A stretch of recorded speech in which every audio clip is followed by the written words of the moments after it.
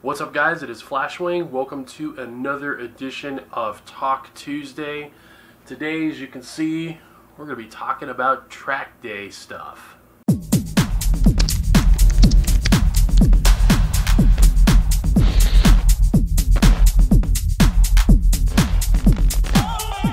So, in continuing with yesterday's Motovlog Monday, I talked a little bit about what to expect with track days in terms of what you can expect with the different groups, what you need in terms of gear, what you need in terms of stuff with your bike, and a couple little tidbits about what to expect when you're actually on the racetrack.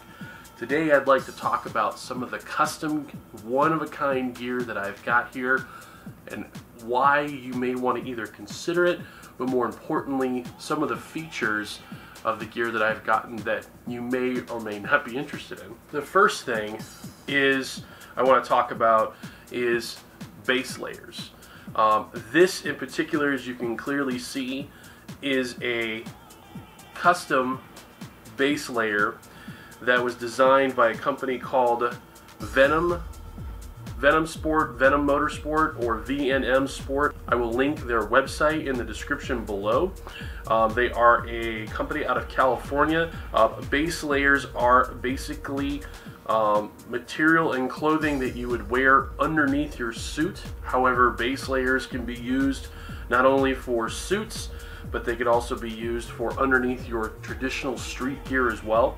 But the materials do feel very high quality. Um, I've already had this through a couple of washes and had absolutely no problems. But again, I mean, the design that was done for this particular base layer was fantastic. Um, it's been very helpful having a base layer for a couple of reasons. Number one, the moisture wicking capability of the base layer, especially in drier climates like Arizona, basically turn it into sort of a de facto swamp cooler, combined with a perforated suit or even a perforated jacket. Um, it really did help keep me cooler in the 95 to 105 degree Fahrenheit temperatures that we have out here. Something like a base layer from VnM can actually um, improve the riding conditions for me out here. I have absolutely no doubt that it would be beneficial for you in any other part of the country or indeed any other part of the world, depending on where you're watching this. The non-custom version, I believe, runs $100 US. However, what you're getting is a very high quality piece. Um, I believe the custom version runs a little bit more, I think around $140 or $135 considering the amount of time it looks like it was put into that particular custom piece and the nice look of it. Um, I felt like it was a really worthwhile expense. I've been very, very happy with it. It also does help with getting in and out of the suit. The material is, is rather slick. It's not abrasive. There's nothing really for the suit to catch on. If you already have a one-piece suit and you happen to be doing track days, I really invite you to check out Venom Motorsport or Venom Sport, VNM Sport, however it is it is labeled. I'm, I'm really not too sure and I do apologize if I get that wrong. Um, please check out their link in the description below. Let's talk let's talk about this suit. Um, a custom designed and fitted suit from a company called Ballistik Apparel. Um, one of the reasons, one of the many reasons I chose Ballistik Apparel is because Jace, who is one of the individuals who owns the company um, and is the primary suit designer, is local here to Phoenix. So if you happen to live in the Arizona or even maybe the California area, uh, Jace is local. He is also a motorcycle track day racing competitor. So he races and actually competes here, at least at the local level. Um, so he is a track rider and he is a racer. So he is using the very product that he is actually selling.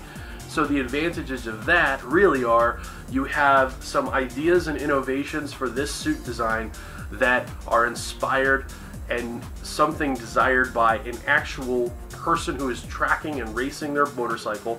Um, secondly, it is a design that is continuously updated and changed based on not only his feedback but feedback from other customers about the suit design. So first and foremost, one of the things you're going to notice about this suit compared to a lot of other suits is the way that the leather is actually printed on. Um, what is really cool about this particular design is that it basically makes your entire suit a open blank canvas because they can print directly onto the leather panels and pretty much make whatever kind of crazy design or color combination you want. This particular this particular suit is a cowhide and kangaroo leather hybrid. Um, it's going to have cowhide in the more impact uh, known areas, and then it's going to have kangaroo in the areas that are non-impact zone um, to actually improve weight. I have absolutely no idea how many kangaroos or cows lost their lives making my suit. I believe it was quite a few given my size. So you can't see it. You're going to have to take my word for it. But one of the few enhancements that Jace has made to this particular suit you're not going to find in a lot of other suits is the liner inside. You may not be able to see, but there is a zipper here. The liner on the inside is actually removable. It's one feature that unfortunately does not does not work for me because I'm not designed correctly from the factory to allow this to work properly. But Jace has actually designed a belt that sits inside the suit so that way when you take the top portion of the suit off you have a belt that you can velcro and that actually keeps the suit up so you're not having to like try and tie the arms together or using bungee cords or anything like that. There are a ton of features to this suit, things that I don't even remember. If you are interested in more details, I will provide Jace's contact info below at Ballistik Apparel. Hit him up. He is very responsive and he is very, very detail oriented. Um, one of the things that he talked about quite a lot was the stitching of the suit. Um, I know that there are, in many cases, there are trip, there's triple stitching in the majority areas of the suit, I believe. But one of the things that he also did is he used these base, he used panels such as this that he doubled as logos or sponsors or anything like that. He worked these additional panels into the suit, and these are actually solid reinforcement panels here as a way of continuously reinforcing the stitching to keep the suit from coming apart.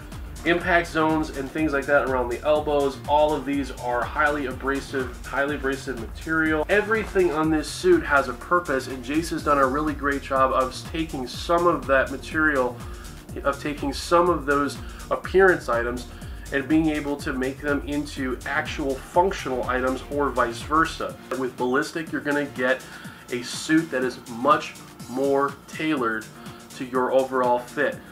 One thing I want to say about me in particular, to give you an idea of what kind of a company this is, Jace was working with the individuals who actually make the suit and manufacture the suit. He put in a lot of extra time and effort because I am a big boy and I have a weird body shape when it comes to suits. Jace not only took the measurements for my suit, but he also provided pictures of me so that the individuals who were putting the suit together understood how my body was shaped because there was some confusion based on my measurements about how the suit should actually be constructed. I, from what I understand, this suit was very difficult to make. It did not cost me any additional money. Jace did not charge me for any additional time. The fee for the suit was up front, and then he handled everything on the back end. The customer service, I have to say, is fantastic aside from that, because Jace was local, I had the benefit of him measuring me personally since he knew everywhere precisely that needed to be measured. I knew that that was going to cut out a tremendous amount of time but the way he normally does it is he normally does it via Skype or some type of video conferencing, which means that he can get you a suit no matter where you live. He will teach you exactly where to measure and he will work with you through the entire process. He's not going to just give you a chart or give you a guideline book and say, okay, go measure yourself. He will sit with you through the entire measurement process and make sure that he is satisfied with the measurements, and if they don't come out correctly, he will fix it for you. Um, obviously, the suit contains the race hump, uh, for safety protection. The number, uh, as well as my logo on the back. One of the cool additions that Jace provided for the suit is the actual American flag, basically kind of hidden on the back of the race hump. This is one of the greater features of the suit. Other items, uh, such as a neoprene collar, because neoprene is a little bit softer on the skin. It's not very abrasive. It's very comfortable. It doesn't really irritate the back of your neck. The full suit of the, the full front of the suit is uh, perforated. One in terms of perforation, the one thing I will mention is I have ridden this suit in conditions down to 40 degrees Fahrenheit in Arizona, which because of our dry heat and the nature of riding on the bike, put the on-bike temperature probably somewhere in the mid 30s. Um, I was actually very comfortable while I was slightly cold.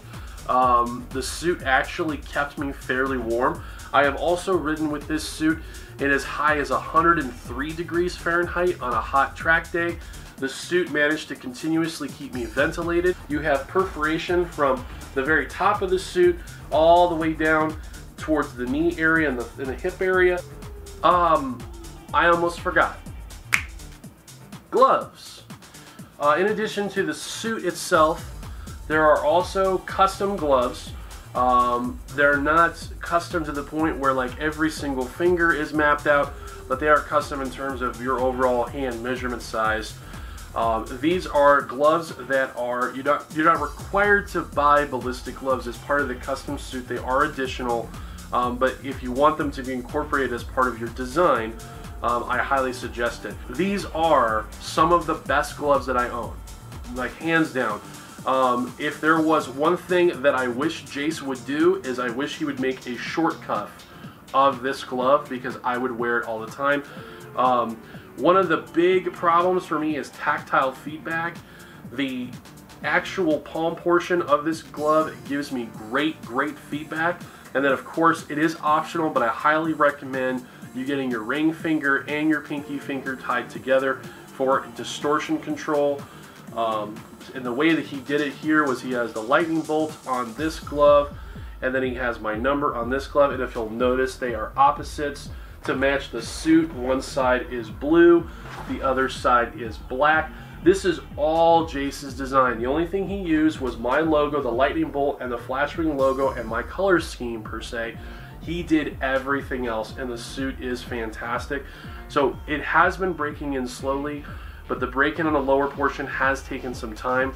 Um, honestly, I mean, I can't say I've got experience with any other suits.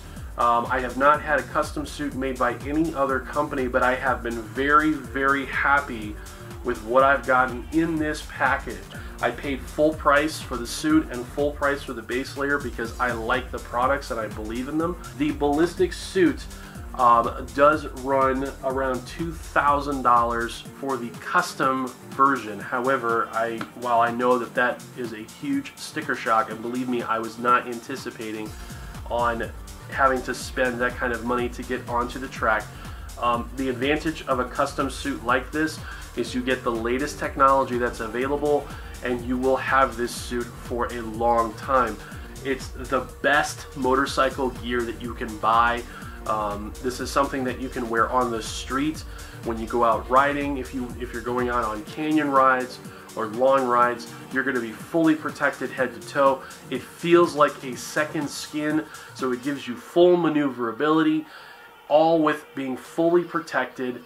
Um, it's amazing going back to my street gear how bulky that gear feels compared to the suit.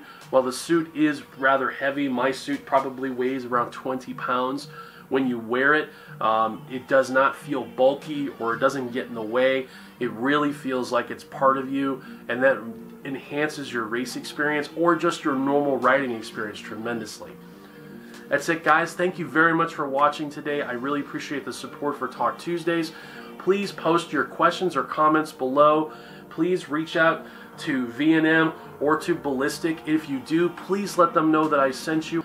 Thank you for watching this week's Talk Tuesday. We'll see you tomorrow for Workout Wednesday. Be sure to get some sleep because we're going to be hitting it hard tomorrow.